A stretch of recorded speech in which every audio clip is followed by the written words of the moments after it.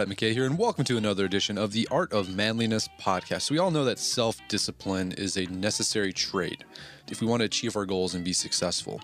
But what can you do? What are some tactics that you can do to actually instill self discipline within yourself? And besides that, besides the self discipline part, there's another aspect to being successful in achieving our goals that we have for ourselves. It's managing our time in an effective manner so that we get the most out of it. And the problem is, in our modern world, we have so many things vying for our attention. First, we have the internet on our smartphones, on our desktops that are just, there's so many things there that can just distract us from work, from our family. But then you have work, then you have family, then you have commitments to church or maybe a community organization that are all competing for your, your attention and for your time. How do we manage all these things in a way that we get the most bang for our buck and actually helps us lead a life of significance? Well, our guest today has written two books on these topics. Uh, they're really fantastic. His name is Rory Vaden, and he's the author of Take the Stairs, and the other one is Procrastinate on Purpose. Rory started out his career as a salesman, and now he is a consultant and coach for salesmen and as well as organizations that are sales focused. His job is to help people be more effective salespeople. Anyways, the principles that he teaches to his clients are applicable to any person who is trying to do the best they can in this life. That's why I wanted to have him on the show.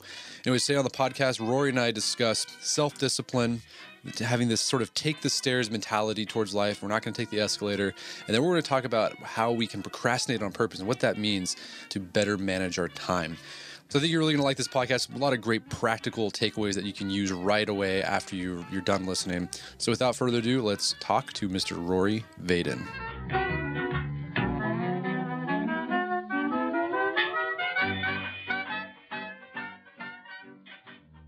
Rory Vaden, welcome to the show. Thanks, Brett. It's good to be here. All right, so you're a business consultant, successful salesman, um, and you've also written books uh, about productivity, motivation, how to just live a more full life. And your first book, I love the title of it because it really encapsulates sort of the philosophy that I take towards life. It's called Take the Stairs, and it's about self discipline. And mm-hmm. uh, you make the common case argument, the common sense argument that you know, if you want to be successful in life, you just have to keep doing the things that will bring you success, even if you don't feel like it. And I think most people like they they get this, like they they know that on a like intellectual level, um, but we have such a hard time putting into practice. Why is that? Well, you know, it's there's lots of reasons why, but one reason is actually rooted in neuroscience. Um, you know, our our brain, we we you know the dopamine drug that is inside of our brain, we get these little hits of dopamine whenever we do something in the short term, right? Like it feels good. Um, and so, what feels good in the short term is is something that we are kind of drawn to biologically. But the thing is, our biology was never prepared never prepared us for success. It prepared us for survival. And so when you understand that, it's like breaking breaking free of that. Um, and working the brain is kind of divided into these three parts but the the front part of your your brain the frontal lobes is kind of referred to as the human brain that's kind of the one for logic and thinking um, and rationale. And that is the one that has to be consciously developed. And like the paradox principle in Take the Stairs is easy short term choices lead to difficult long term consequences.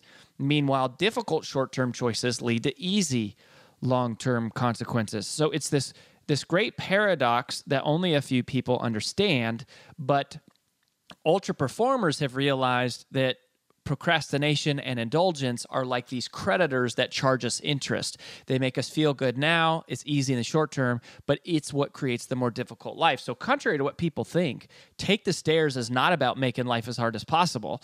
It's the exact opposite. It's about making life as easy as possible, but it's based on sort of the unpopular premise that creating the easy life comes from doing the hardest parts of things as soon as possible. So it requires you to like play the long game. Exactly. Why is that? I mean, that, that's hard to do though. Like, right? Like, I mean, like, there's been all these studies that, you know, people know they need to save for retirement, right? Because like retirement's going to come, but then they don't save. Um, is it just because like the future is so amorphous and not concrete that it makes it hard to like play the long game? I absolutely think so. I, I think you know, like one a lot of times when people come to us and they say, "Hey, I really struggle with self discipline in this area or that area," what we almost always find is it's not that they struggle as much from a lack of discipline as they do from a lack of vision. Um, our, the amount of our endurance is directly proportionate to the clarity of our vision. So if we have a crystal clear picture of what we want in the long run, then that creates a naturally strong connection to to how the sacrifices we're asking ourselves to make today forward us towards a future that we care about, which thereby creates this context for action to take place, and our discipline engages almost automatically. But if we don't have that clear vision, or if we don't spend much time thinking about it, which most people don't, most people suck at vision. Um, and we were we were taught as kids, you know, not to be dreamers. Like you know, get your head out of the clouds and uh, think realistic and focus on what's in front of you. And yet, the most successful people in the world, at least in the business realm and, and in the athletic realm, and, and really, I mean, the entertainment realm too, they have such a clear vision and they spend so much time thinking about it. They see it so vividly in their mind that it's like the vision pulls them through all the crap they got to go to to get there. Whereas, absent that long term vision, you're simply governed by your emotional impulses of what feels good right now because you're biologically like you're set up that way. Gotcha. So, I mean, yeah, there's that verse in the Bible. I think it's Proverbs, right? Where there's no vision, the people perish. Mm-hmm. Yeah. Um, so, how do you make that? I mean, how do you create that vision? Is it just a matter of sitting down, journaling, writing, thinking about, talking about it with your with a mastermind group or your friends or your your wife? I mean, what do you? How do you fashion that vision?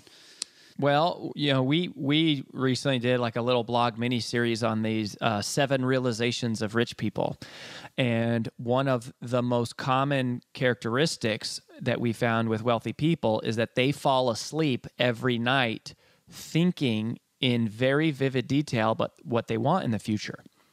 And that is something that I started doing a couple years ago, and it's made a huge difference because the the more you can see it, the more likely you are to work towards it. Now, some people call it the law of attraction as kind of this cosmic force, and you know maybe part of it is that, but I kind of tend to believe it's it's less of that, and it's more just about you're creating this context by which making sacrifices makes sense, and you start paying you're paying attention and you're open minded to things that you would not have been open minded to in the absence of that vision. But um, from a from a tactical standpoint, a little technique that we we do, and um, we take all our coaching clients through this. So we we do sales coaching. That's really our core business. Is so we work a lot with salespeople, but we have them go through this exercise called VAST, um, V A S T, and one of the things again coming down to neuroscience is understanding that the brain thinks in pictures and things that are more vividly experienced in our mind are more likely to become true in reality so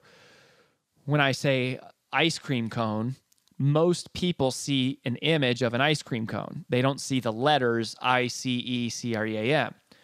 Well, when we think of vision, a lot of us talk about vision abstract, and companies are some of the worst at this. You say, Our vision is to be the best in the world at whatever. Well, that's a kind of a crappy vision from an inspiring perspective, from a motivational perspective, because what, what is more motivating is a picture is to say, you know, imagine our uh, a picture of our company headquarters inside of whatever Forbes magazine being written up for the the the most uh, enriching customer experience of all companies in the world. And there's case fe- features on us, um, and everywhere you go, people recognize the logo on your business card and they ask you about it. That becomes more alive. So so VAST, the V stands for visual the A stands for auditory. Um, the S stands for smell, and the um, the T. Oh, sorry, um, the T stands for touch. So when you think of your vision, don't think of it in some obscure term like I want to do this amazing thing. Um, think about in your mind what can you see? What can you hear in that moment that it came true? What can you smell and what can you touch? And you're when you think that vivid that in, in as much vivid detail, your mind really can't differentiate between what is real and what is not real. I mean, it's it's why nightmares wake us up because they feel so real because your your mind doesn't really dictate and you have these emotional responses uh, based on it. So that's a couple ideas about how to how to do it, and I think it really is important to get that basic because most of us just don't do it. But the bigger thing is be willing to do it and spend time thinking about it. Awesome. So we've talked sort of like big picture, playing the long game, but we got to we have to deal with the day to day, and I know what gets a lot of people down is they know what the stuff they need to do to be successful, but it just feels like a grind and it's just like they mm. just they don't want to do it. They can't get up. It's another Monday. They have to do these reports. They have to you know make the call. They have to whatever it is. Um, how do you you make the case that you should fall in love with the daily grind? Mm. How can you do that when you feel like your job? it's just it's it's it's mind numbing. Yeah, so this is it's uh, that's actually something that one of our very first coaching clients. His name is Chad Goldwasser, and he was the number one Keller Williams real estate agent in the world out of like seventy six thousand. Uh, they have many more agents than that now, even, but. Um, and he said that that was one of his philosophies was falling in love with the daily grind but it, it ties in well to one of our principles that we embrace at Southwestern um, which is a lot of times people let's say they read Take the Stairs and they come up and they say, okay, Rory, so let's say I start doing all the things you're talking about, right? Like, I, let's say I do start taking the stairs and metaphorically speaking, I'm doing the things I know I should be doing. I'm doing the things that I are making the sacrifices. I'm paying the price. And how long do I have to do that for? And the truth is that we never get to stop doing them. We never do. Um, now, that doesn't mean life is going to be miserable. It doesn't mean that life is going to be one great big giant trip to the gym or that you're only going to eat foliage for the rest of your life. But uh, it does mean learning to embrace this concept that we call the rent axiom. And the rent axiom says that success is never owned, success is only rented, and the rent is due every day. Success is never owned, success is rented, and the rent is due every day.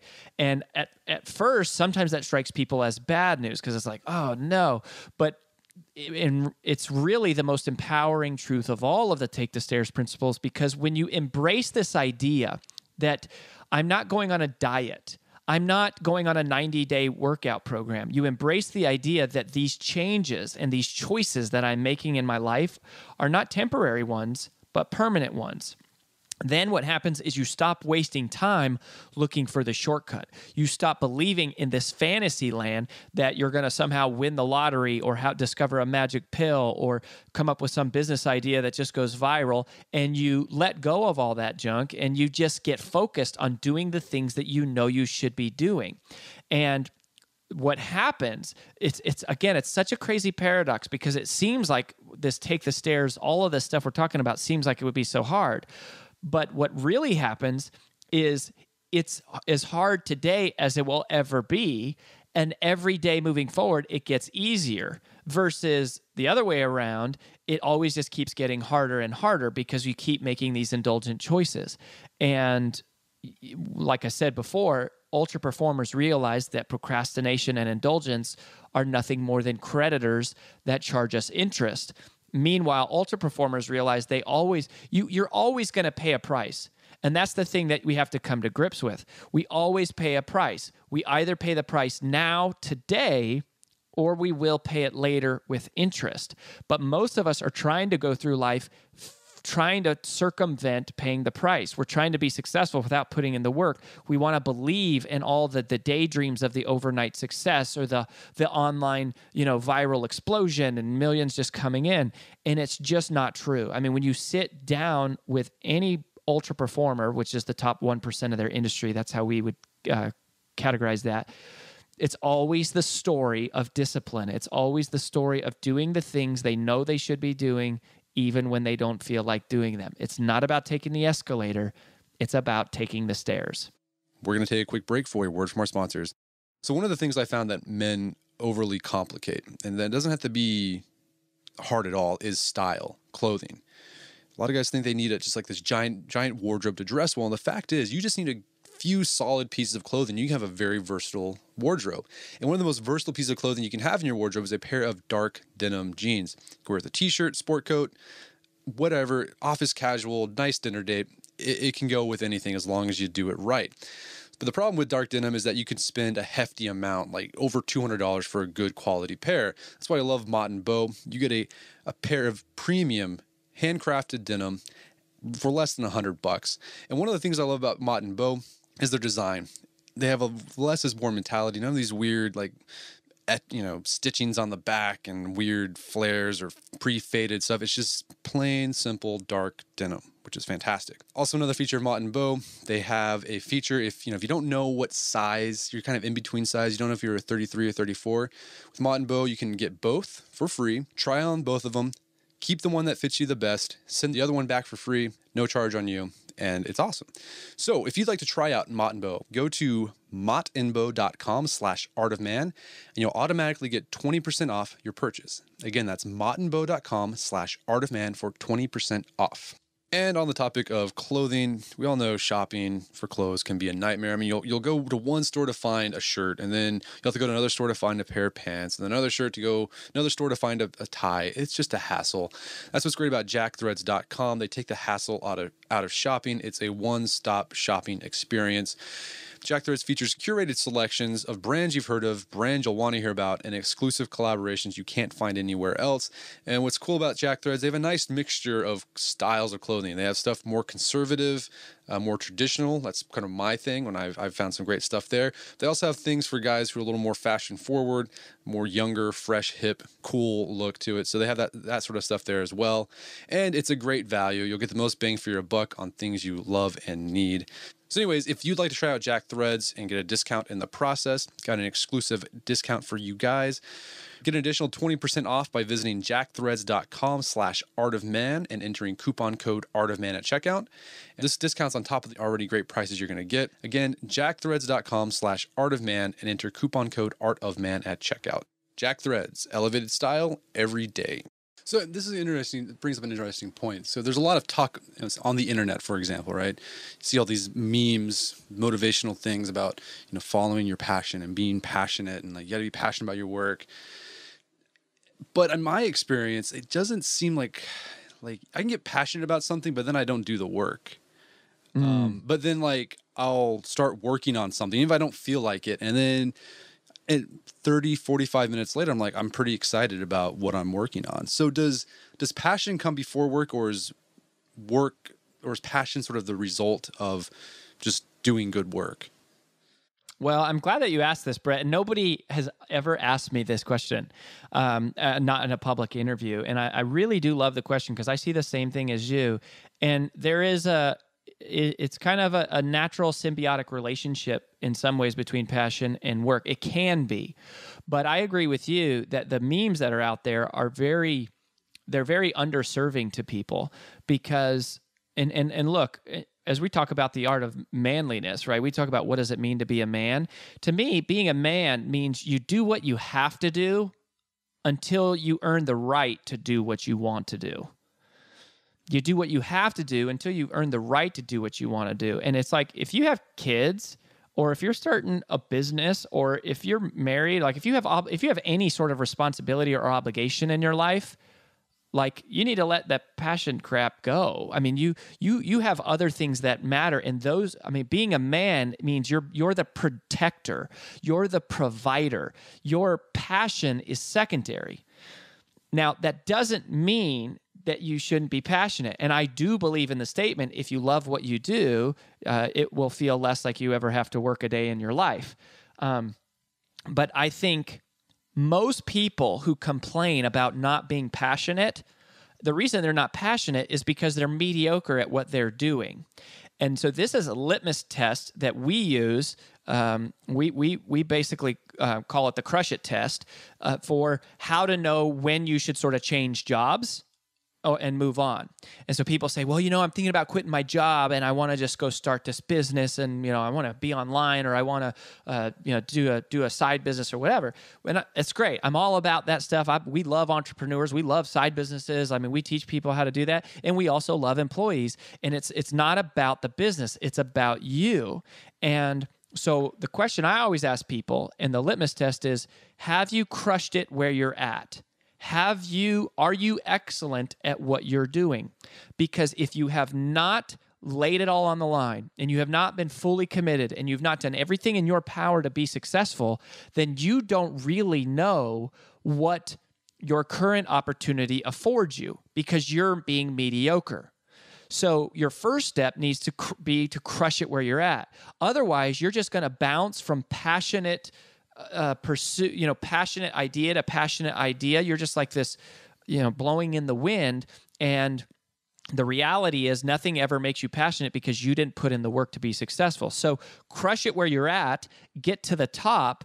Um, because it's like, you know, when you're climbing a mountain, the view at the top looks and feels a whole lot different than the view when you're climbing up the side of the mountain. So climb to the top of the mountain and then decide is this really giving me what I want? But most people who use that passion argument, it's because they're mediocre at what they're doing, and then they're kind of they're giving themselves the payoff of saying, "Well, it's just not my passion," and I think that's I think that's weak. Okay, so uh, you, let's say you, you, people realize what they need to do. They got their vision. They know the things they they have to do, but there's still something that's keeping them from just committing to it and like getting going on it. So you have this what you call the buy-in principle. Mm. Um, what are some things can people can do to buy into their commitment they want to make to be a better person? Yeah, so the buy in principle, simply stated, is this that the more we have invested into something, the less likely we are to let it fail. The more we have invested into something, the less likely we are to let it fail. Um, and it's easy to understand that intellectually but it's very hard to live by that pragmatically so when because what the buy-in principle suggests is that if we make a commitment to do something and then it becomes difficult to follow through that we should actually increase our investment. We should spend more time, more money, more prayer, more effort, more focus, more resources on whatever that commitment is. Well, in the escalator world that we live in, it's almost the exact opposite of that. Most of us keep our commitments conditionally. We keep them as long as they're convenient to do so. But the moment it becomes inconvenient to keep that commitment, we typically start questioning that commitment and we start convincing ourselves that maybe it's because I'm just, I, there's a, another passion I should be pursuing. And that is, um, you know, really, really dangerous because we start we start thinking that success is a matter of our circumstances and really success is a matter of our choices. And that's why you have some people who go from average performance to average performance and to average, and they're constantly changing jobs and careers. Um, and, and it's it's because it's a mental thing. So in terms of how do you how do you overcome that? Well, there's a very practical um, sort of strategy, which is you increase your your level of commitment and thereby the likelihood of your success by intentionally creating the question how, so that you don't accidentally relent to the question should. M- most people we when when it becomes challenging to follow through on a commitment we we say you know what maybe this isn't the right time. Maybe this isn't you know the right place. Or you know should i do this now? Should i do it later? Should i give it to somebody else? Uh, and their whole life becomes about that question should should should should should should. And if you're not careful brett you become what i like to call a should head um, and so you you, you got to be aware of should.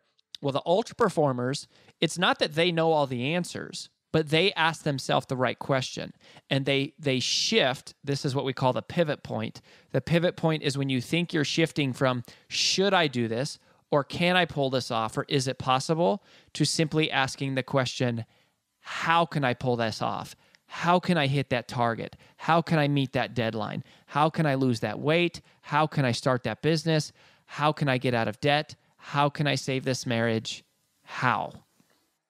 Gotcha. You know, here's another thing that I've done, and I love that. Instead of asking should, asking how, and like trying to find a solution Right. uh, to your problem. But another thing I've done, I've applied the buy-in principle in my own life. I've actually like made bets uh, with people. So there's like a website called StickK. I think it's S T I K K, and you can actually put money on the line for like goals you want to accomplish. No way. That's cool. So and what it's what's ingenious about it is you have you set up an accountability partner, and then you can if you don't fulfill your goal, uh, you lose your money. And Oh, you man. can, and and you can make it even like more uh, make it hurt more by having the money go to some organization that is against your values, right? So if you are a diehard Republican, you can have the money go to the Democratic National Committee, or if you're um, pro abortion, you have to go to an anti abortion. So it's kind of crazy. And I, I- I've done that in my a few times when I've had like these big projects where I, I haven't wanted, I, I just wasn't committed to it, just didn't, wasn't bought into it. I put money on the line. And once I've had that money on the line, it's like, it hurt. Like knowing that I was going to lose that money, like it, no matter what, I was going to get it done, get that thing done. So that was another thing I've done in my own life to sort of I love that. I mean, that's great. That's a great example. The more you have invested into something, you know, and there it's not just money, but it's also that emotional pain. That's the worst. Yeah. One one of our uh, one of our coaching clients, we just they just sent this out on the email. Um, she is an a I think I think uh, she's a huge Auburn fan. So she lives in Alabama and she's a diehard Auburn fan. Well, she set up a referral contest, her and her coach, and if she didn't get a certain number of referrals, she has to wear Alabama uh, clothing gear and talk about how much she loves Alabama for like a week. And so that's just those little kind of um, consequences those those play a big factor. And and coming back to the earlier question you asked like your story there about using stickK i think brett is a it makes the future more real. It and so that that that helps with that long-term perspective. So, a principle you talk about in your book, Take the Stairs, which resonated with me, and I think it's important for particularly younger people to understand and comprehend, is this idea called the harvest principle. Uh, what's what is the harvest principle? Can you explain that for our listeners? Yeah, well, you know, one of the things we have done is really studied um, time management, and we've really challenged, and we've gone out to ultra performers, and and we've taken this list of cliches you hear about time management, and just said, hey, do you buy in? Like, do you believe in this? Is this a? Do you actually believe this this this statement? Like, do you operate your life or your business by it? And we have found that. emphatically almost always they do not and very often it's the opposite in fact that's what the new procrastinate on purpose book that's why we wrote it was to sort of dispel all of these myths about productivity and one of them i mean one of the most common things you hear is people talk about work life balance well so we go out and we ask these these ultra performers. We now call them multipliers. That's the term we use in the in the the, the new book, which is a subtitle is uh, "Five Permissions to Multiply Your Time." Um, but anyways, the they they kind of they said balance is basically a complete joke that they have never embraced that idea of work life balance. Because and if you think about it now that I've asked them and kind of we've gone through these interview processes balance is really a horrible metaphor for how to spend your time because the word balance by definition means equal force in opposite directions so it sort of implies the idea that being balanced in our time would be spending equal time on different things. The part that's crazy about that is that if you sleep something like eight hours a day and you work something like eight hours a day, then to be the only way you could be balanced would be to do one other task, and you'd have to do that other task eight hours every single day, which is ludicrous. It doesn't even make sense. Um, and you know, multipliers have realized also that success is not related to the amount of time that you spend doing something. It's not related to the volume of tasks that you complete. Success is simply related to the significance of those tasks and what uh, and and namely the results that are achieved. And you can you can achieve results in certain areas of your life with less time. Working out is probably the best example. You don't have to work out 8 hours every day to be in great health. If you work out 30 minutes every single day, you're going to find that it's going to for most people that's going to make a massive change. And so what ultra performers do is they actually said it was the opposite. They said rather than trying to create balance, they they intentionally create imbalance. They imbalance their life for a short predefined season uh, which we ha- we refer to as a harvest season because it reflects m- much more the attitude of like a, f- a farmer during harvest. The, the farmer during harvest, you know, they work 16, 18 hours a day because the, the harvest is when the harvest is, and they have to harvest their crop, and that's going to sur- make them survive the rest of the year. And that is much more reflective of how life works. It works in these seasons. And so the idea is to imbalance your life for a short, predefined season and leverage the power of focus and intensity to create a desired result. And then once you've create once you've created that result, it's much easier to sustain that result over time with less effort. And and you know, just kind of a personal story for me, I used to be 45 pounds heavier than I am right now. And a lot of people don't know that. And when I first started on this whole journey of, of self discipline, I made this resolution that I was going to stop uh, drinking alcohol forever, that I was going to stop eating dessert forever. I was going to work out every single day forever until I got to my desired goal, my desired weight. And I hit that, you know, eight months after I started. I lost 45 pounds. And ever since then, it's like, yeah, I have I have a couple drinks, I have dessert a couple nights a week. Um, and I don't have to work out every single day. Uh, I work out a, a, few times a week, or I work out just a, you know a little bit every day, and and it's a lot easier to maintain it. So I'm not in a harvest season that relates to my physical stuff right now because I already went through that and I'm just maintaining. Now I'm imbalancing towards other things.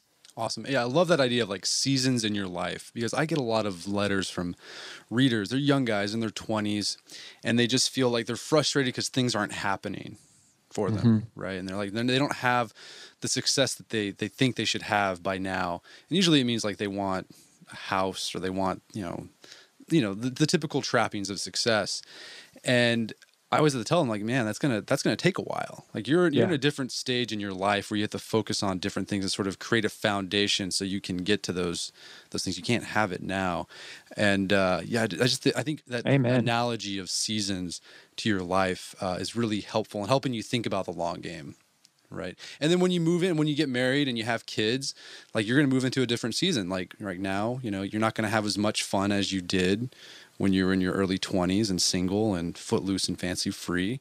And that's okay right? That's just you're in a new season you approach it that way and then the kids will eventually move out and you'll have more time to yourself again. But uh, the seasonal approach is really nice yeah, well, thank thank you. I mean, amen. I, I'm I'm I'm glad that it resonates because, and and you know, really, I mean, sometimes I think people say that they go, well, you know, it's just not going to be fun.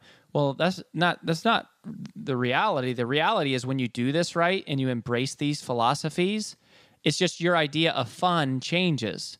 Um, and what what used to be fun was getting bottle service at the club, and then it was you know having a nice car. Uh, and then it, at some point, it might become fun as being able to spend time with your kids in the middle of the day and, and having the freedom to be able to do that because you work so hard. I mean, when I was in my 20s, I worked so hard. And the reason why was because I wanted to work then because I said, you know what, one day I'm going to have kids. And when I have kids, I don't want work to be the driving force in my life. Um, so I wanted, I was working harder now because of to, to, to create an opportunity that was going to happen in the future. Again, a lot of this ties back to that sort of longer term thinking. Okay, so your uh, your second book um, was is called "Procrastinate on Purpose," and you say in the beginning of this book that uh, it's actually this. You should have wrote, written this book first, sort of the prequel to "Take the Stairs." Why? Why is that? Yeah, you know, uh, honestly, Brett, I didn't even realize that it was the prequel until I was we you know we had done all the research and I was writing and I'm at the very end of the book and it dawns on me that this is the prequel because what Take the Stairs is about. Take the Stairs is all about the psychology of overcoming procrastination, how uh, you know increasing your self-discipline and how to do the things you know you should be doing even when you don't feel like doing them. What procrastinating on purpose is about is what to do with everything else so that you can get down to that. In other words, how do you know what the thing is that only you can do, that you must do, and it must be done now, even if you don't feel like it? And that is what the focus funnel, which is kind of the core framework of POP, Procrastinate on Purpose. Um, so the POP book is really um, what to do with everything else so that you can you know boil it down to figure out the thing that only you can do. Gotcha. So i mean I, I think you've already hit on this a little bit but you know you start off the book talking about the way most people approach time management just doesn't work. And i guess the, mo- the way most people try to approach time management is balance for starters right? Like i'm going to have eight hours of this i'm going to do eight hours of family time eight hours of work. Um, but then you also say that a common way that people try to manage their time is prioritization. Um, mm-hmm. Um, that it doesn't really work though. Why is that? Yeah, so we talk about the the the history of time management theory and how as a body of work it developed in the 50s and 60s and it was really originally it was sort of one dimensional it was all about efficiency. It was managing your time by trying to do things faster which made sense because that was sort of the the paradigm of the day was on the heels of manufacturing era and you know cars a model t ford and all that sort of stuff. Um, and then in the late 80s prioritizing your time emerged as the new paradigm. And I th- I give a lot of credit to the late great Dr. Stephen Covey because he created, you know, he he popularized this thing called the time management matrix where the y-axis is importance and the x-axis is urgency. And what Dr. Covey did was he gave us for the first time ever like a scoring system and and taught us that not all tasks are created equal. Um, and based on these two calculations importance and urgency you could you could basically weight certain tasks to be more important and then you prioritize those tasks right? Well for the last 25 years we've thrown around that word prioritizing your time like it's the end all be all to time management theory. And there's nothing wrong with prioritizing. I mean prioritizing is a valuable skill but there is a massive limitation to prioritizing that nobody ever talks about and that is there is nothing about prioritizing that creates more time. All prioritizing does is take item number seven on your to do list and it bumps it up to number one. But there's nothing inherently about that that creates more time. It also does nothing to help you accomplish the other items that are still remaining on your to do list. So it's a valuable skill to be able to focus first on what matters most but it doesn't create more time. And so it's more like borrowing time prioritizing is like borrowing it's i'm borrowing time from one activity to spend on another rightfully so but it still doesn't help me with the remaining items and so when you're operating in those two paradigms it's like the only option you have is to run faster, be more efficient, right? So it's like we can work longer hours or we can move faster during the day or to try to juggle more things. And you're constantly juggling a hundred different balls in the air. And so and that really describes i think how most of our coaching clients initially feel about their schedule when we're working with them. It's like the, and, and we have met some of the most efficient people on the planet. We've met some of the best prioritizers on the planet but really it's like all all we are is a bunch of insanely fast juggling hamsters sprinting towards this inevitable crash landing because you can only do things so fast, which is very well evidenced by the fact that we all carry around miniature computers in our pocket. We're working longer hours than ever before. We have more technology, uh, and yet we're still never caught up. And we have more calendars and checklists to help us prioritize, and and none of that seems to help. We're falling further and further behind, and so that's the limit. That's the lim- the limit uh, limitation of prioritizing, and that was the problem we really wanted to solve with Pop. So you add in another line into that matrix and its significance. Is i guess significance a way of figuring out like playing the long game? Is it, is it putting your your actions in a in a perspective of a longer frame of time instead of just the here and now? Yeah it basic it basically is brett. That's pretty accurate. I, I think if uh, you know coming back to that matrix if the y-axis is importance which is how much does something matter and the x axis is urgency, which is how soon does something matter. Then significance becomes the z axis. And that is how long is this going to matter? And the significance calculation changes everything because it takes that two dimensional model and it makes it into three dimensional. Um, it takes a square and makes it into a cube, and we have said that's the that is now era three thinking is using the significance calculation to multiply your time. And the big distinction here is, look, let's say absent the significance calculation, we inadvertently overweight the urgency calculation, meaning that well here's a myth. Here's a here's a myth of time management. People say there's nothing you can do to create more time. Time is the one thing that you can never you know get more of. Well it is true inside of the the, the paradigm and the construct of one day that you cannot create more time. We all have the same 24 hours, 1440 minutes, 86,400 seconds. But that's exactly the problem. Most people only think inside of the paradigm of one day.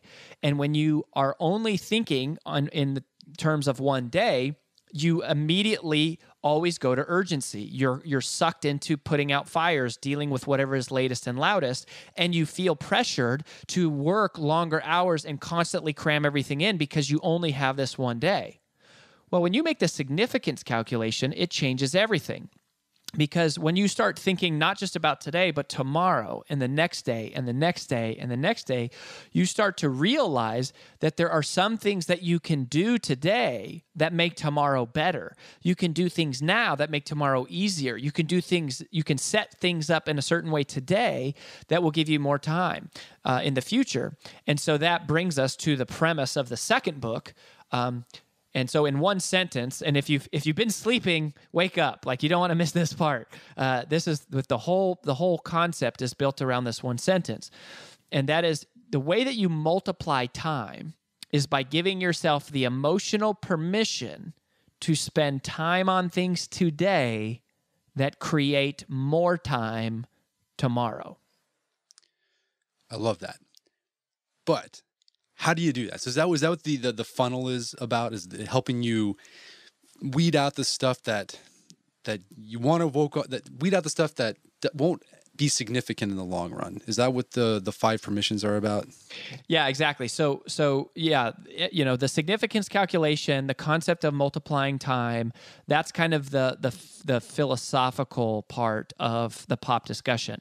The practical part really happens with the focus funnel. So the focus funnel was our attempt to codify the thought process that ultra performers go through whenever they are making a decision about how to spend their time and what to spend it on and what not to. And so if you picture a funnel at, at, the top part, the wide entry point, if you have all of your tasks and emails and meetings and all that stuff coming in the focus funnel, then the top part of the funnel is eliminate. It's the permission to ignore. And we can go through more these in more detail if you want, but um, if you can't eliminate it, then that task drops down to the middle of the funnel, which is automate. That's the permission to invest. If you can't automate that task, then it drops down to the bottom of the funnel, which is the delegate section. And you say, that's the permission of imperfect. And you say, can this be done by someone else? Now, if you can't eliminate, automate, or delegate the task, then that task falls out the bottom of the focus funnel. At that point, there is one key remaining question, and that question is Must this task be done now, or can it wait until later? If the task must be done now, then that's concentrate. It's the permission to protect. It's all about you know protecting your focus, eliminating distractions, uh, doing the things you know you should be doing. That is kind of where the pop book ends and the take the stairs book picks up. But if the answer to the question uh, can this wait until later is yes, then that is where we're inviting you and encouraging you and challenging you to not eliminate, automate, delegate, or concentrate, but to procrastinate on purpose. Procrastinate on purpose. We call it POP. That's where the title of the book comes from. Now, when you procrastinate on an activity on purpose, you're not going to procrastinate on it forever. But what you're going to do is pop that activity back to the top of the focus funnel, at which point it's going to enter into this holding pattern where it sort of cycles through the focus funnel.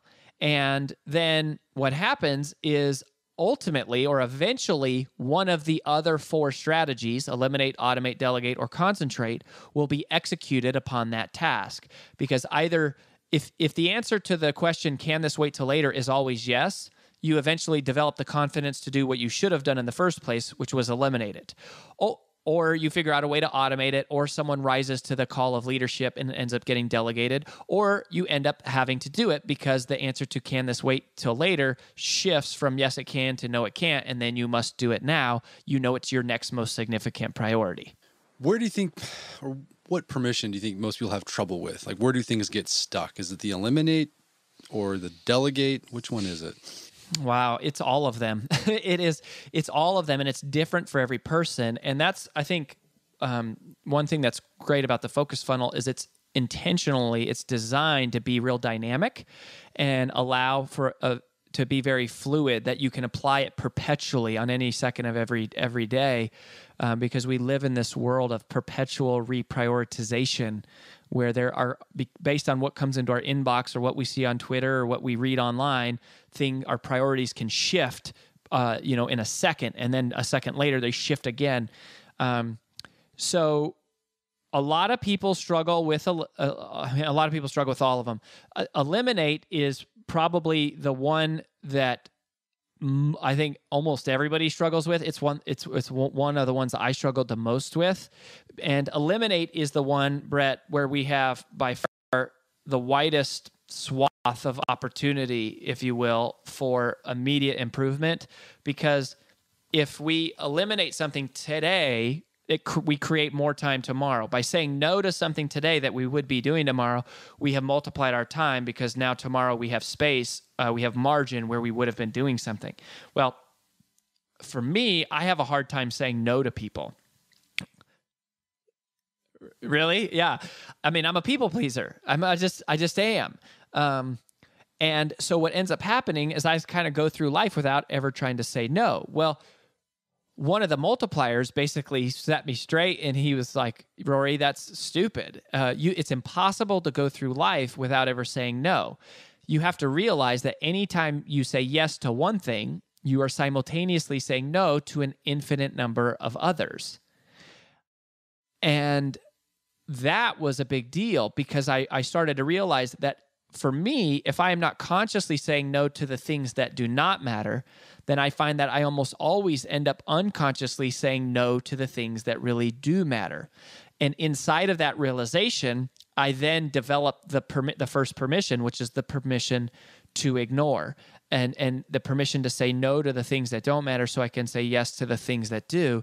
And most of our inbox is like we could just go through it and just delete and eliminate and there's things on our calendar that we could just stop doing and we don't know anybody an explanation but but we have a hard time emotionally doing that which is another one of the best, big misconceptions is that most of us think of time management it's always logical tips and tricks tools and technology calendars and checklists but time management today is no longer logical it's emotional. So do you have any advice on I guess ma- uh, managing the emotions of saying no? I mean do you have like scripts that you can people can use We have a hard time doing that? I mean, what what can they do to take the sting off? Besides understanding that if they, if they say yes, they're saying no to something else, but once they have to actually do it, like what anything there? I would just say you ask yourself if I do this activity, what will I what will I have to say no to, or what will I end up saying no to by saying yes to this? Uh, it's just kind of this this checkpoint.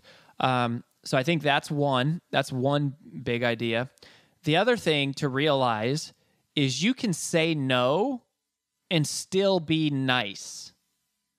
And and if you become an expert at nicely saying no, it's like you can you can say no and you can still be gracious about it.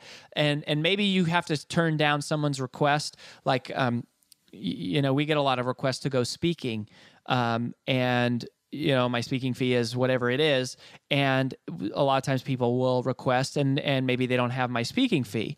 And it's such a bummer because it's like man you know here's somebody reaching out to us. They really want us to come. It's such a compliment to be invited. But it's just like at this at this point in the career I, I can't say yes to being doing that because then it's pulling me away from the other things that i'm doing. And it, it's not empirically like worth the time.